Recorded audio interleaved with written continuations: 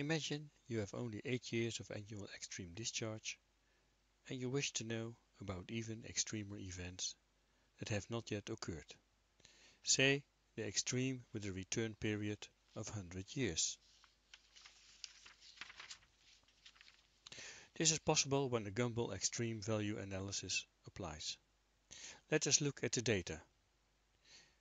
We have ordered the annual extremes in descending order. Now we can draw up probability of exceedance P according to the plotting position which is I over n plus 1 where i is the order number and n the total number of observations.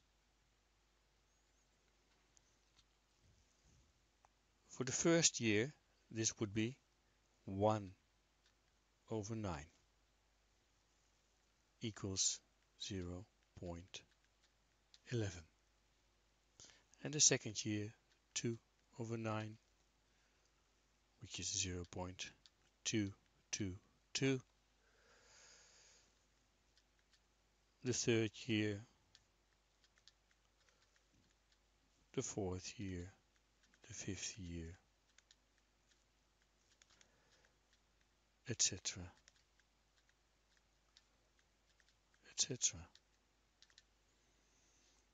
from this follows the return period t which is 1 over p. For the first year this would be 9, second year 4.5, 3, 2.25, 1.8, 1.5, 1.29 and the last. And the probability of subsidence which is q equals 1 minus p. For the first year, the second year, third year, fourth,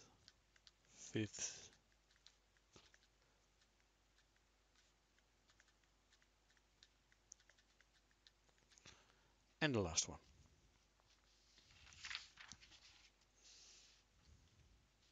If you would simply make a frequency plot of for example q against the extreme, we would see an S-curve. As we can see, it is hard to estimate an extreme with, for example, t is 100 years. t is 100, p is 1 over 100 and q is 0.99. q would be there and now what would be the extreme with this probability of subsidence. Therefore, Gumbel introduced the reduced variate y is minus ln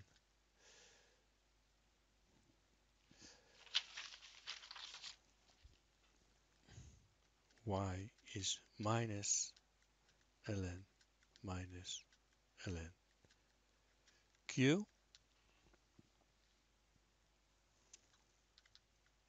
We can complete the table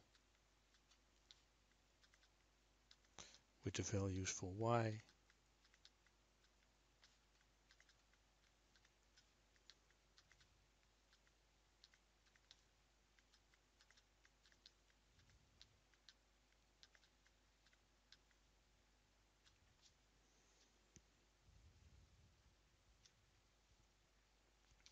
and plotting this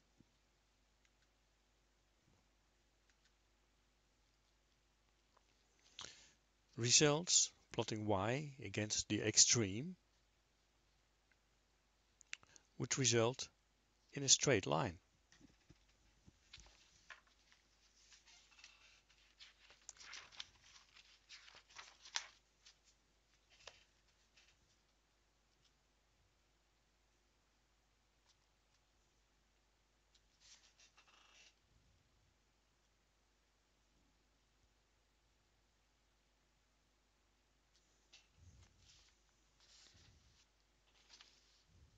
Which makes it easier to extrapolate to rare events.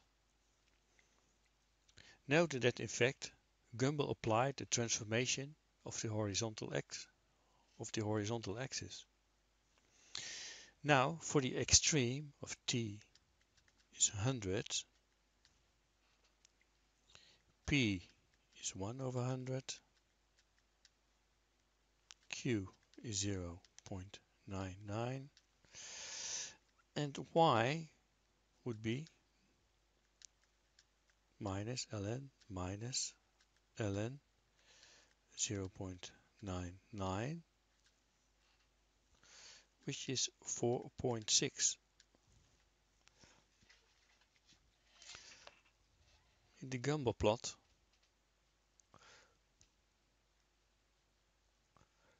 Four point six is there.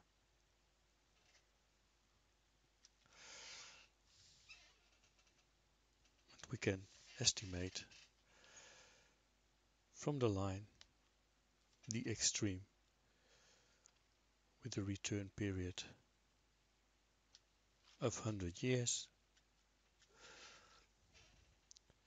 which is approximately 1150 cubic meters per second.